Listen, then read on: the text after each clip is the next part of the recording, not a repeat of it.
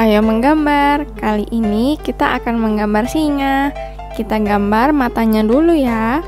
Buat dua titik kecil, tambah hidung dan juga mulut. Lalu kita gambar telinganya. Gambar lingkaran nih. Ada kumis nih di bawah hidung. Selanjutnya kita gambar rambutnya ya. Garis lengkung-lengkung. Kita warnai kuning dan oranye.